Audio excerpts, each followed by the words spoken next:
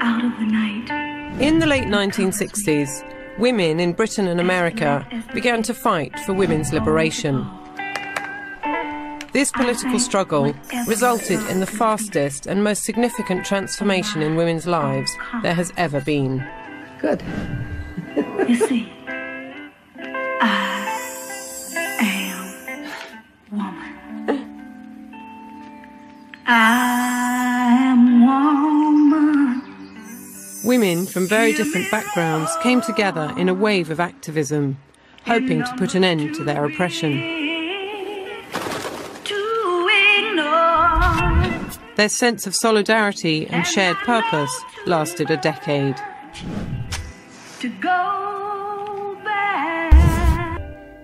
You see,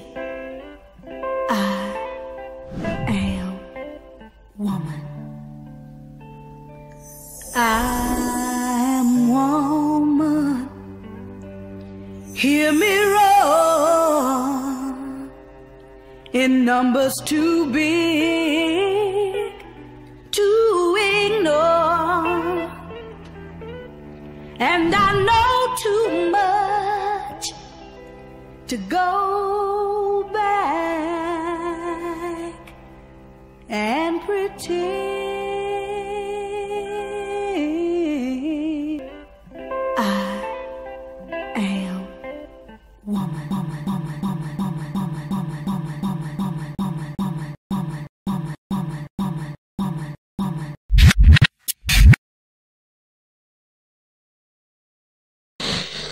house one night, and uh, we were talking. And he started laughing. He said, "Aaron, what do you think women's liberation was about?"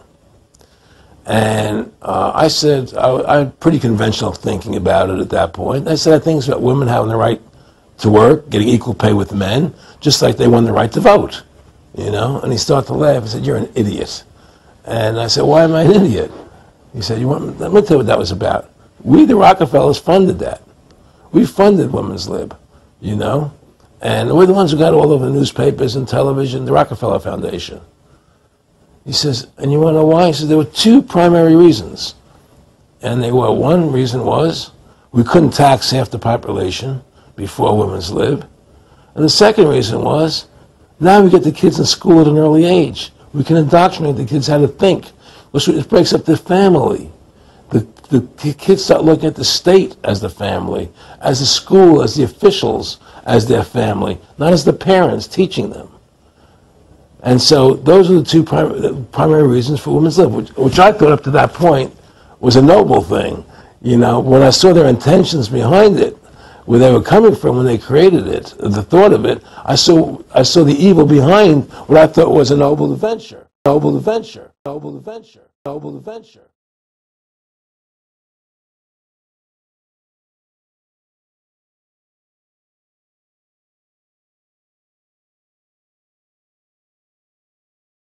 Elohim uh, made a garden. He created a garden. And then he formed man and he placed man in the garden. So let's just go back and look at the sequence of events. Elohim created the heavens and the earth. He then created a garden. That garden would serve as a job for man. So he created the garden. That means that he created a job first. Then he created man to work a job, that is, to work the garden. Then he created Eve. He created a woman. He fashioned her from his side, from his rib, and he brought the woman to him that he had made from his rib. And he brought the woman to him to be his helper in ruling, his helper in working, his helper in directing the affairs of this earth. That is why she was created. Elohim first, work second, family third. Women will not understand that. And after today, after last week, after week before that, or from the genesis of this series, a woman will still not understand that because that is not how she is designed. Man has to constantly remind her that Elohim is first and foremost in my life, not you. My work is second because if I do not have a job, I cannot be validated as a man. We receive our rewards, our sense of accomplishment, uh, our self esteem, our confidence as men um, through what we have accomplished in life. And as I've stated last week and in previous weeks, in fact, in previous years, a woman who marries a man who is unaccomplished, you're going to be marrying someone with whom you're going to have to manage by way of their ego and their confidence and their self esteem. And Yah help you if you begin to surpass that man in your affairs, whether it's your job, whether it's your projects, whatever um, appears to create the perception that you're moving forward and that person is not, you're going to be involved in a very embittered relationship. Man's primary source or primary means for self gratification, primary, then there's a secondary. Primary means for satisfaction, self gratification, his self esteem, his confidence is in what he accomplishes. When we get a promotion at work, we feel good. And this is applicable to females as well but we're leading off with the males. From a young child, you get a certificate, graduating kindergarten, a trophy, playing pee wee football. All of these things does something to that young man's ego. He goes to high school, he graduates high school, goes to college. Right? These are accomplishments, and they are designed to help him with his ego. They are designed to give him a sense of accomplishment and self satisfaction. Very, very, very important. It does not matter what a man does in life as long as he is accomplishing something. Does everybody understand that? Yes. That is man's primary, his primary source. That is his primary resource for self validation. What do you think the second one is? The woman. The woman. If he has a mate, if he has a partner, he feels good. And there is a process within that relationship that helps him to retain um, this sense of ego, this masculine prowess. And we're going to talk about that. The secondary source is often used for the primary source, which creates which creates a lot of problems in a relationship. So I have to go back. It's very important to understand what a man's role and a man's responsibility is. It is to represent uh, Elohim on earth um, first as a caretaker, as a caregiver over his creation. That's number one. Number two, to serve as a prince, to have dominion over it. And number three, to serve as Elohim's priest, that is the mediator, um, the mediator between your house and Elohim. These are the three roles that, that we that, that we serve in. Here's a summation of last week's discussion. Elohim says that as a husband, you must provide for your wife's clothing, food, and intimacy. Brothers and sisters, it is a law. It is a law. When people come to me to ask me for marriage counseling and advice and so forth, you know, Ari, I want to get married. Very first question I ask, do you have a job? um, I'm working on that. Then you need to be working on marriage later. You you don't you don't marry unless you have a job. Aria, why is that?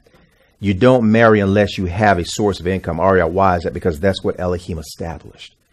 Anytime we go against what Elohim has established, you are asking for problems. We're dealing with human beings. And human beings have created in the image and the likeness of Elohim, male and female made he them. So a woman represents a part of Elohim, a man represents a part of Elohim. A woman who's married to a man has certain rights. A man who is a servant of Elohim has certain responsibilities and duties. Those responsibilities and duties um, address the rights of the man's wife. So Elohim wrote in the law so there would be no no no debate, no conversation about it. The law says that a man who takes a wife, he must be in a position to provide for her clothing, food, and intimacy. Intimacy. In the New Testament, Paul uses the term benevolence, affection, love, honor, so forth. Old Testament and the law, duty of marriage. We talked a little bit last week about sexual intercourse versus sexual intimacy.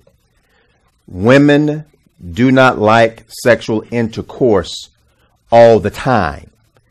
They look for sexual intimacy all the time. Men know sexual intercourse. Women translate sexual intimacy um, into love. Men translate sexual intercourse as sexual intercourse the vast majority of the time. That serves as an issue. But what Elohim is saying in the law is that a man must be intimately affectionate with his woman. He wrote it in the law. If this is something that we cannot do, a lot of times brother says, well, you know, uh, you know, man, this is like going down like a punk. No, a punk is the one who's not going to do it. Two, Paul says, always remember to express your love to your partner. Peter says, always remember that she is a weaker vessel, requiring constant reassurance and validation. In other words, that's work, brothers. That's work. And as we move deeper into this class, we're going to ask ourselves, are you willing to put in this work? I have some very smart friends, you know, uh, could have gone to law school. And, you know, I asked them, why didn't you just go to law school? There's too much work. I'm not interested. Engineering, I'm not interested, you know. And it's not that they, they, they couldn't do the job. They were not willing to put in the work, to put in the work, to put in the time. When Adam meets Eve and they come together, you're going to have to put in some time. Sacrifices, emotions, commitment, convictions. You're going to have hurdles. It's almost like Carowinds from time to time. You're going up and down. Paul says, never treat your wife harshly. Do not hold a grudge against them. Why? Because we are made differently. And because women are built to, to, to, to seek that attention and that affection, and it has been exacerbated by Genesis, was that 3, 316? Genesis 316 through the curse where Elohim says, right now I'm going to magnify these passions and emotions that she has, where it is going to become a hardship, not just for you talking about Eve, but also for man. So now she has a, a, a just a constant longing an insatiable appetite for time. I want you with me. I need you with me. And we went over this last week. Bobby Womack says, you know, look, I, I can't be here. I'm broke, right? You know, I got to be out working. If I'm not working, right, then I can't provide you with the things that you need. And that is real, brothers and sisters. That is real. It is one of the number one complaints that women have about their men. Not enough time. It is one of the number one complaints from men. About my old lady always complaining about me not being around or doing this and so forth. This goes back how many years? 10, 20, 30, thousands. And so when you see a trend like that, that means that it is that it is woven in the fabric of human nature. And what you have to do is you got to go dig, dig, dig. Why is it that uh, how is it? I mean, it doesn't matter if I marry a Chinese woman, a Puerto Rican woman, uh, you know, a Caucasian woman, you know, African woman, Mexican woman, you know, doesn't matter, you know, an Eskimo woman, doesn't matter. They all have the very same trait. What is wrong? You have to go back to Genesis 3:16. And I don't think that there's anything wrong. I think that it is it is it is uh, symptomatic of what what Elohim has established. And so we're trying to just understand why these challenges exist. And we have the answer to this. You don't need to read a book, uh, Men are from Mars, Women are from uh, uh, uh Venus, and think like a man and act like a woman and all this other type of stuff. You, you, you don't need to watch these programs. All you need to do is to take a critical, do a critical analysis of the text and dig deep into the text to see what Elohim has created. Paul says, never treat your wife harshly. It's kind of, you know, it's easy to do because we feel encapsulated and encaged. We, we feel like, you know, see, you just not listening. You're, you're just not listening. And no, she is not listening because women listen with their emotions. They listen with their emotions. And if those emotions are not being addressed, right, then guess what? It's shut down mode. And so you have to speak to the emotions. You cannot speak to logic. You cannot speak to the um, uh, to the absolute elements within the present circumstances.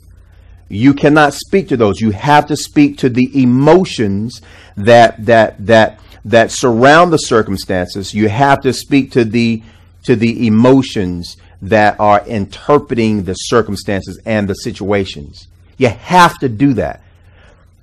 That's the reason why women and men say we have a what problem? A communication problem. A communication problem. Now, why is there a communication problem? It goes back to how Eve was created and how man was created, then it is exacerbated times 10 with Genesis 3:16. And so yes, men get mad, you know, we leave, don't want to come back. Women get mad, leave, don't want to come back and so forth. And what's taking place is really we are because we're not seeking righteous answers and righteous resolve, what ends up taking place, we, we make a mockery of one, the constitution of marriage, two, the constitution of relationships. And so we're going to talk a little bit more about that. Women's self esteem and their confidence is largely bound in their perception of how their partner feels about them. Too fat, too skinny, too this, too that. Um, how do you feel? You know, honey, how do I look in these jeans? Well, you look uh, orca, you know. Um, um, th- that's going to be a sister that's going to be mad for years. Years. Years. Even if she does look like, you know, Orca in those uh, jeans, you got to say, baby, you look good. You look good to me, honey. You know, I love that. Yeah, you all you to you on point. Thank you. Right.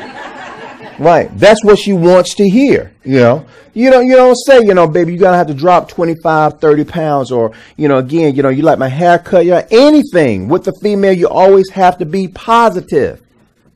Because again, their self esteem and their confidence is tied to how you perceive them. And this is the reason why Paul says, man, don't be harsh with these sisters. You have to be careful with the words that you use, um, that you use uh, to them or about them. um, 25 reads, Heaviness in the heart of man makes a stoop, but a good word makes it glad. Would you have a better translation for us there, Mr. Yaziel?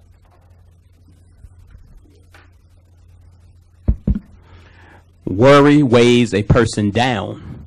An encouraging word cheers a person up. Read again, please. Worry weighs a person down. Worry. Where you have worry, you have, uh, yeah, now let's think about that. Anxiety, stress, worration. Um, go ahead. I was trying to Yeah, go ahead. pull sure. up pull up all of them. Yeah, well, that's great. And while you're doing that, I'm gonna look at some something else. Again, how how a woman feels about herself. Now we're we're still dealing with you know Adam's duty to to the woman, his responsibility. Self-esteem, self-esteem. Yah have mercy. Self-esteem is critical, very, very, very critical.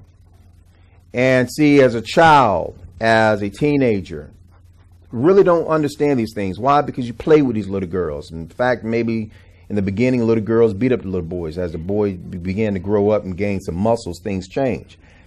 But um, she ain't interested in a little self-esteem then. She's tomboy, trying to climb trees, doing all this other type of stuff. But as she grows older, she becomes more feminine, and she begins to to to define herself based upon her environment how she is supposed to look and act and behave. And she wants this newfound perception of herself to be validated by her partner. And if he does not validate her, then lowers self esteem, lowers confidence, raises insecurity, raises sensitivities. Do y'all hear me? Okay. I'm going to repeat again. Very, very, no, seriously, very important. Because men, we don't, we don't, we don't think about these things. A lot of times we're confident in a, in a lot of things. You know, women come together, you know, let's play some spades. Let's, uh, you know, play bingo, whatever. They do it for what? The fellowship. Men, we're going to go out to the basketball court. It's not the fellowship, it's to what? Battle. We're built differently. We're built differently. For us, it's about conquest. It is about dominion. Dominion. Very important to understand what Elohim has instilled in us. Go ahead. Anxiety weighs down the mind, but a kind word cheers it up. Okay. A kind word cheers it up. So you always have to use kind words when you're speaking to your partner. Kind words. And sometimes, maybe because you have a past where you don't mean it, you know, and, uh, you know, say, baby, you know, let me tell you something. If I said it, I mean it. You really don't mean it. You have to show it now. You have to show it. And you're going to have to do it in a continuum and perpetuity. All day, every single day. Men's duty. And we're not talking about something that he has created and assigned to himself. We're talking about something that Elohim has assigned to him. Whenever you you say to um, a woman, um, you know, this is what Elohim requires me to do for you, and you show it, right? You are safe. There are going to be a lot of expectations that women and people are going to put on you outside of the law. And it's very hard to carry those burdens, brothers and sisters. Very difficult. I would tell you, don't even try and explain to a person why you're not even going to attempt.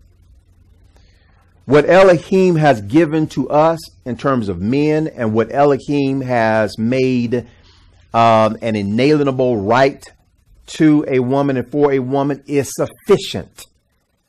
Don't add anything to it and don't take anything away from it. Live in harmony with the outline that he has created, and you're going to find perfect peace. That is a guarantee. Eve's divine duty. Wives were created to serve their husbands. I know people especially women have a, a challenge with the word serve, oved, to work for, to work for, serve their husbands. And in serving their husbands, they are serving Elohim. They will always receive the protection and blessings of Elohim, providing they are doing what Elohim requires of them. Let me tell you something, and I'll bring it up. And my father comes in here to drop off some sweet potatoes in a couple of weeks. Don't don't tell him I told you this. But let me tell you, my mother's an educator. She's been an educator for 36 years. And um, you know, I asked my mom because I saw a lot of farmers, and I saw their wives uh, driving the tractors, um, while the the husbands were behind the tractors, behind the plow, planting or doing whatever. You know, and I noticed that. Uh, thought something was kind of eerie. But then um, I noticed how my father brought it up. My father said, You see all these farmers out here? You see where their wives are? I said, Yeah. He says, They're out there working with their husbands. And uh, where, where's your mama? I think she's at home watching Young and the Restless. Right. Okay. All right. So I went back and I asked her. I said, Mother, how come you're not out there helping Daddy in the field? She says, Look, I didn't go to school to get a master's degree in education, get dirt underneath my fingernails. See, I, I, I want you to listen to me, brothers and sisters. See, that's wrong. That's wrong if a man is working, if this is his job, you were created to help him in whatever capacity he was created to work and serve Elohim in. You now have to serve Elohim by and through serving man, your partner, in that same capacity. No ifs, no ands, no buts about it. Education, education, education. I don't care if you have a dual PhD in chemistry and education. You, as a woman, were created for one reason, and that is to serve your husband or to serve your partner. Now, the feminist movement changed all that. I understand that. We're going to get to that. I'm going to kill that. I'm going to kill that. I'm talking about why Eve was created. She was not created to sleep all day. She was not created to watch TV all day. She was not created to get the paycheck and to go shopping all day, spend up all the money. That's not why she was created. She was created to say, How can I help you meet your goals and your objectives, Master? Quiet, boy, I can I can hear a rat urinating on some cotton in here. Can look, look at Sister Nia. See? I'm trying to tell you something. Hold on, I'm, I'm trying to help you. And we're going to get into all of these things. We're going to get into all these things. Yeah. Listen to me. Sisters, you want Elohim's protection? You want his blessing? You want intervention? Then you have to build a relationship with Elohim.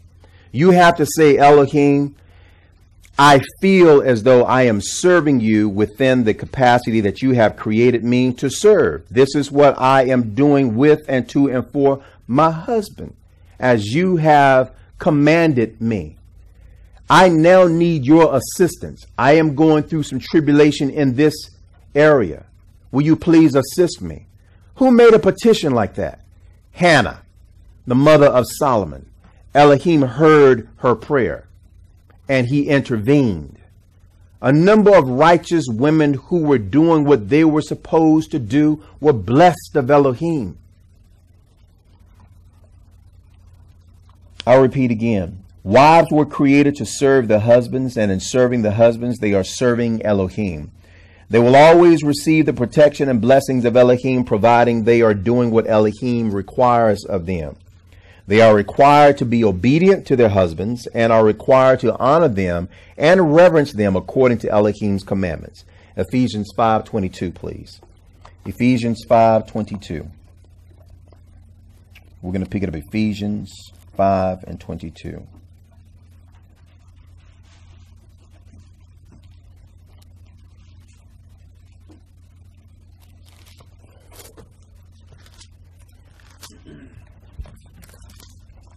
Verse 22 reads, Wives, wives, submit yourselves unto your own husbands as you would unto the master. Read what you have, uh, Mr. Uh, Yaziel.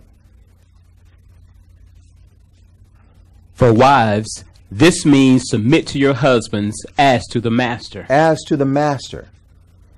You see, if Yah was in your presence, would you submit to him? If Yeshua was in your presence, would you submit to him? See, there's not a sister in this tabernacle would say, No, I wouldn't submit to him. Every sister would say, Absolutely. Absolutely. Then also submit to your husband. um, can we talk about that? 1 Corinthians 14. 1 Corinthians 14. 1 Corinthians 14. And let's pick it up at uh, 34. 1 Corinthians 14 34. Verse 34 says, Let your women keep silent in the assemblies, for it is not permitted unto them to speak, but they are commanded to be under obedience, as also saith the law. As also saith what? See, what I'm saying, sisters, for those of you who are married, you can go to your husband. Ephratah, which it, it never happened because, you know, she has a righteous husband, you know, but she could come and say, husband, um, let's see, um, you have not been providing me with food, clothing, and intimacy. Okay do I need to take you before, you know, uh, the elders in the tabernacle for you to make good on this law? Or are you going to fix it yourself? Ephraim will say, oh, baby, okay, yeah, well, no problem. I'm going to take care of that. Why? Because that's what the law demands. Now, Ephraim can go to his Isha and says, uh, wife, did I not ask you to do, no, did, did I not tell you to do X, Y, Z, X, Y, Z? Yes, you did, but you should have asked me. You be telling me to do stuff. You ask me. See, that's not going to work. See, there's your bosses, your masters, your lords at work. Do they ask you to do your job description? Do they tell you to do what's in your job description? What is your job description at home, sisters? It is to serve your husband. Is everybody with me?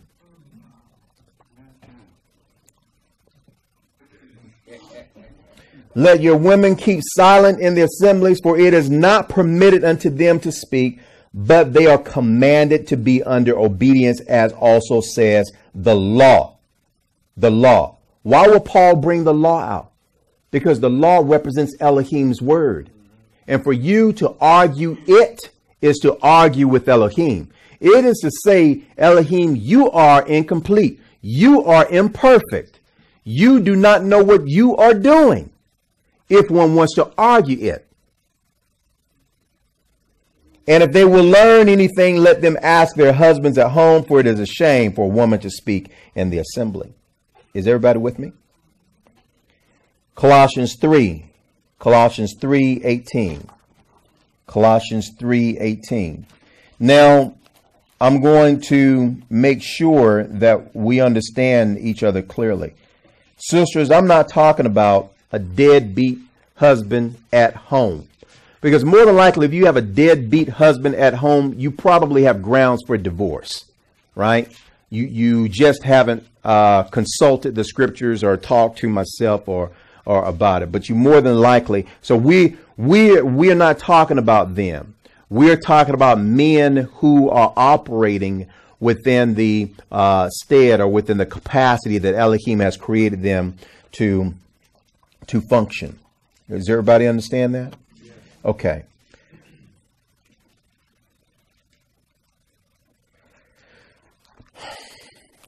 Okay, let me see here. Uh, Colossians chapter 3. Colossians chapter 3. And um,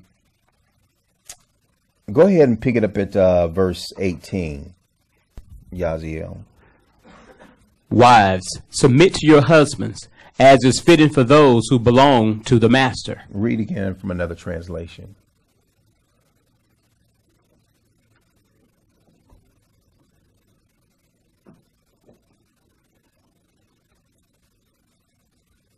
NIV. Said same thing. Wives, submit to your husbands as is fitting in the master. No problem. Go to 1 Peter 3, 1 through 7. 1 Peter 3, 1 through 7. 1 Peter 3, 1 through 7. And why don't you read that for us there, Mr. Yaziel? 1 Peter 3, 1 through 7. 1 Peter 3, 1 through 7.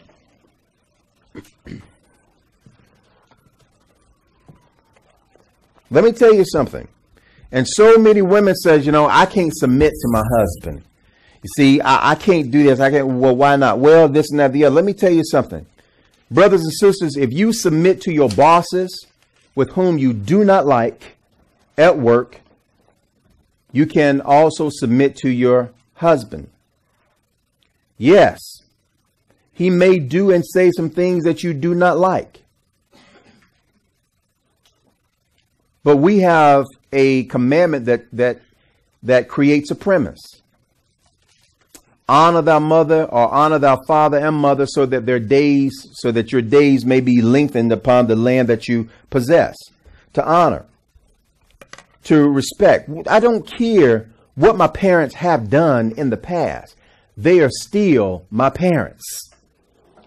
And I am legislated, regulated, guided, and directed by law to honor them. So if they have a need for something, if I see them weak and feeble, they need some assistance.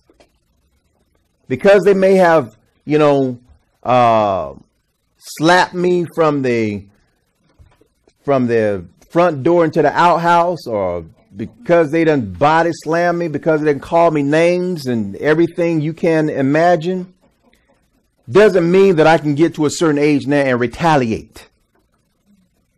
Elohim will reward you bountifully if you have gone through all of this adversity through an imperfect set of parents, but yet you uphold your spiritual integrity by not just honoring Elohim and keeping this commandment, right? But honoring again your parents. Honoring your parents. Likewise with the husband and wife. Women will change emotional loves for their spouse over a period of time. Women will change from agape love, and we're going to read this from agape love to philos love. But at all times, respect and reverence and honor must be present. That will never dissipate according to the law. So follow along with me, please. Where are we? Go ahead and read. Are you reading the NLT? Yes. That, that Go ahead. Yeah. Yeah, yeah, the NLT. In the same way, you wives must accept the authority of your husband. You must accept the authority of your husbands. And, and a lot of you don't have husbands and so forth, so to speak. You got husband like, husband type. It's the same rule. It's the same rule. Go ahead. Then, even if some refuse to obey the evangel, your righteous lives will speak to them without any words. They will be won over by observing your pure and reverent lives. Mm-hmm. Don't be concerned about the outward beauty of fancy hairstyles. Look, I try to tell sisters all the time, why do you come in with these big eyelashes and lipstick just all over your mouth? And you know, um, uh, you know, three pounds of makeup all over your why? Why do you why why why do you do that? Well, because see, my last boy, your last boyfriend was a punk. It, let me tell you something if he demeaned you and made you feel like you are crap, it's because he ain't nothing but crap. Right. My sister, you beautiful without the makeup and stuff. Well, I was just trying to look like trying to like what television, telemedia. Those people ain't real. Those people got problems. You are beautiful being you. being you. Don't try to demonstrate some righteous or some type of glorified appearance by just decorating yourself all up. Go ahead. What does he say? Verse 3. Don't be concerned about the outward beauty of fancy hairstyles, expensive jewelry, or beautiful clothes. You should clothe yourselves instead with the beauty that comes from within. From within. From within. The scriptures is going to tell us that it is a virtuous woman. It is a quiet woman. It is a meek woman. It is a humble. It is not a braggadocio, uh, uh, uh, proud, haughty, flamboyant woman. We'll read maybe in this class in Isaiah chapter 3 or Isaiah chapter 4. Elohim cursed them. So we're trying to help each other here men to be men, women to be women, men to be men of Elohim, women to be daughters of virtue. Go ahead. You should clothe yourselves instead with the beauty that comes from within. Watch this now. The unfading beauty of a gentle and quiet spirit. A gentle of a quiet spirit. Go ahead. which is so precious to Elohim. Elohim says, Woo! I got to find myself a gentle and quiet spirit. Where are they? I'd pay anything to find that.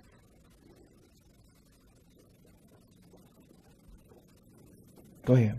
This is how the holy women of old made themselves beautiful. They trusted Elohim and accepted the authority of their husbands. Read again, please. This is how the holy women of old made themselves beautiful. Mm, that's how they made themselves beautiful. Go ahead. They trusted Elohim and accepted the authority of their husbands. For instance, Sarah obeyed her husband, Abraham, mm-hmm. and called him her master. Yes. You are her daughters when you do what is right without fear of what your husbands might do. Whoa, read again. For instance, Sarah obeyed her husband Abraham and called him her master. You are her daughters when you do what is right without fear of what your husbands might do. Okay. Go ahead. In the same way, you husbands must give mm-hmm. honor to your wives. Yes. Treat your wife with understanding Yes. as you live together. Yes. She may be weaker than you Yes. are, but she is your equal partner in Elohim's gift of Mm-hmm. new life. Treat her as you should, so your prayers will not be hindered. I shouldn't have to argue with you. As the husband, you are my helpmeet. A wise man is going to listen to the counsel, the advice of his partner. But at the end of the day, he has sole authority and autonomy to make the final decision. And when the decision is made, the decision is made. Let me tell you something. You have a man and a woman living in a house. Brother comes over to the house, or maybe sister come over to the house and take the take take the sister out and come in, and she has no electricity. She has no water, no food. Do you know who gets blamed for that?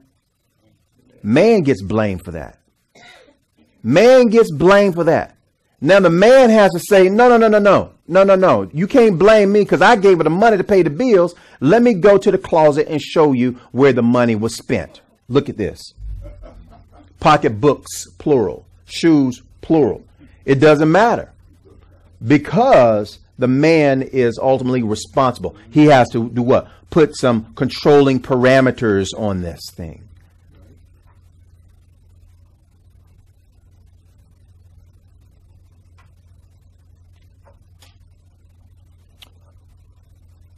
Jude 8 and 9. Uh, I think we're out of time, right, Yael? Okay. Uh, Jude 8 and 9, we read this a couple of weeks ago. This is very important. But Jude 8 and 9, we see that uh, Michael does not make any accusations against Hillel, against Satan. Why? Because Satan was still an angel of authority. He was still an angel operating through Elohim's anointing, still being guided and directed by Elohim. So Michael being lesser in terms of, here we go, his role. His role. See, when Elohim gave the signal,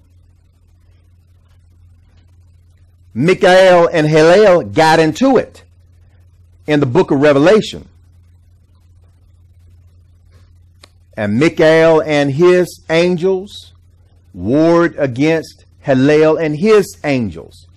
But until then, Michael says, I got to show respect to you, brother. I don't agree with you. In fact, I don't even like you. But guess what? I'm not going to say anything because you are still Elohim's anointed. See, that's Jude 8 and 9. It's the very same role that woman plays.